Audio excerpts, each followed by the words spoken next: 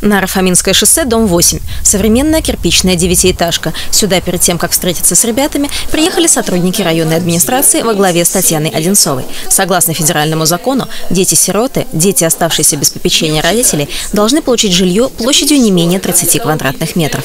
Нашим ребятам повезло, у них 37 квадратов.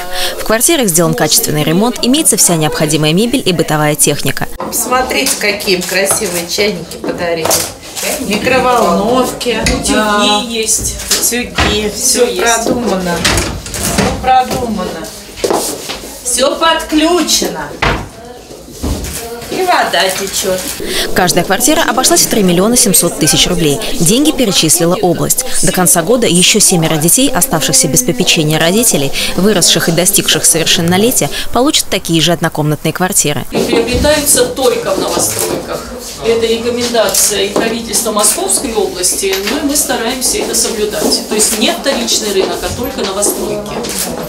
Здесь тоже вот люстра есть, мебель необходимая. Все такое оригинальное, посуда. энергосберегающее. Рита, Дима и Никита встречали гостей в кубинской администрации. Юные, нарядные, со счастливыми глазами, они уже побывали в своих квартирах и остались ими очень довольны. Еще бы, первая собственность и уже 18 лет. Ровесники могут только позавидовать. Твоя очередь наступила получить первый раз в жизни вот такие серьезные ключи. Это не поле чудес, это поле Одинцовского района и Московской области.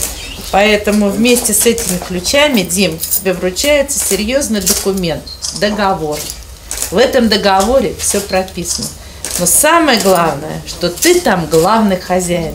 А дальше были слова благодарности от новоселов за подаренную путевку в жизнь. Хотела бы сказать спасибо, конечно, главе Одинцовского района Андрею Робертовичу Иванову, э, опеке за то, что они все время помогали, давали какие-то советы. И, конечно, своей бабушке Карповой Ларисе Андреевне. Я очень благодарна за то, что в такое сложное время есть надежда, то, что дети, которые обделены чем-то, родительской заботой, получают вот такие вот подарки. В течение ближайших пяти лет Дима, Рита и Никита будут жить по договору найма. Это значит, что ни поменять, ни продать квартиру новоселы не смогут. А вот после того, как пройдет этот срок, специальная комиссия определит, на каких условиях метры будут закреплены за хозяином.